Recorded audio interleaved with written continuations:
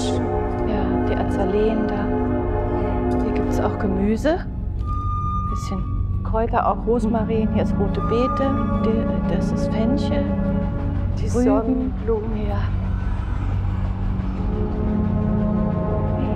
Und hier ist der Kohlrabi. Die Kinder essen wahnsinnig viel Kohlrabi. Die herrliche Zeit, die wir gemütlich im gastlichen Hause Haus verlebten, immer mit zu unseren schönsten Urlaubsplänen herumgehören. Im Osten steht unser Morgen. Herzlichen Dank für eure nationalsozialistische Gastfreundschaft. Paleta. Paleta.